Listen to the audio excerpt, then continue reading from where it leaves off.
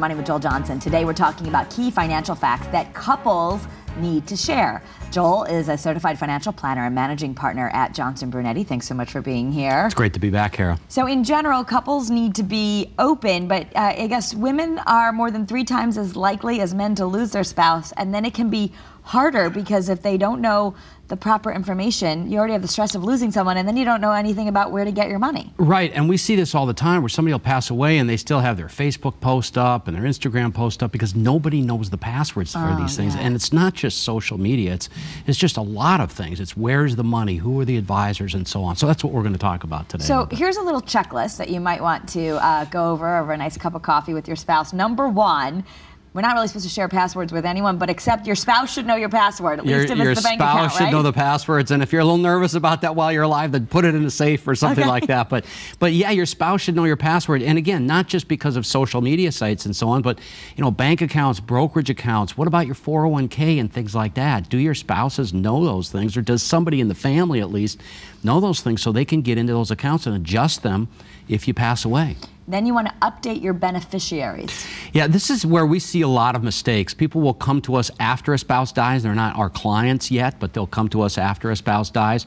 And beneficiaries are wrong. Maybe they disinherited the spouse with an insurance policy or something, or they might have had something go to an ex spouse or something like that. Just, you know, real uncomfortable situations, let's say, because beneficiaries weren't checked. So every year, people should go through, if they're not working with a financial advisor, at least on their own, checking all the beneficiary designations on all their accounts, all their insurance policies, pensions, and so on.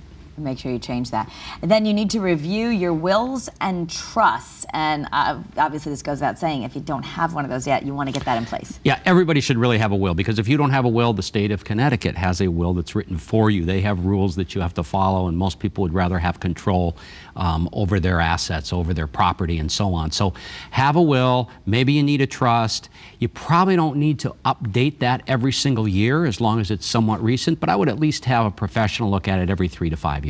Okay. Uh, or after any major life change, like a Yeah, divorce or something. definitely after a major life change like a divorce, maybe even a marriage of a child, where you, you're cautious about, you know, what if that marriage doesn't work out and Oh. now some of my money ends up being inherited by a spouse or it gets inherited ahead of time and then it goes with the split of the marriage. So uncomfortable things to talk about, but we need to talk about these things. Right. And couples, you say, need to know where financial accounts are held. You may not have everything joint, but you need to know where the accounts are. Right. I remember a few years back, you know, Wendy and I kept talking. I'd show her these financial plans and so on. And finally, I just put a binder together of every single account, what the account number is, and so on. So she has a binder. Well, that's a and that idea. way A she- binder would be a good way to put it in one uh, spot. It's nice and easy. You put it in one spot, you put it on the shelf. You don't put the passwords in there. So if somebody gets the binder, who cares?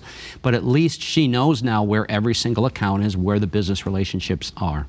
And that would be easy if you just take statements, the account numbers will be on it. and Exactly. Just put it in a special place. Like anything happens, the binder has it all. Right, and there's something to be said about having it in a binder. I know we all use computers these days and so on, but the old-fashioned binder is just a nice way to keep it organized. Right, you have to remember they're going to be stressed if this happens. So you also have to have a must call list. Maybe that goes on the front page of the binder of uh, who to call. Uh, absolutely, and these could be things like doctors and so on, but definitely any kind of attorney, a financial advisor, an accountant, any of the people that would need to get to work on the estate, the after you know someone passes away. How do we get the finances in order? How do we access money? What should we do? What bills should we pay? What bills should we not pay? What if there's a car's financed? All these things you need to have a go-to person, whether it's an attorney, accountant, or a financial advisor. Some some great advice there, and it gives people they can just kind of make a checklist and start going through it. Right. All right. Thank you, Joel. And if you want to learn some more information uh, about what to be doing to prepare for your finances, you want to go to BetterMoneyTV.com. Now, if you have any questions for Joel about this or maybe another subject, you can email them there, and Joel and his team will answer all the questions. We love the email questions. We'll answer every single one. Alrighty. Thank you so much, Joel. Thanks, Kara. Coming up tomorrow on Better, we're going to be getting some help trying to bring spring into our lives. That sounds good. Nora Murphy is visiting Studio B with armfuls of crafting supplies, and she hopes to put us to work. Also, tomorrow, thousands of hours of never before seen footage documenting NASA's mission to the moon has now been compiled in a brand new movie.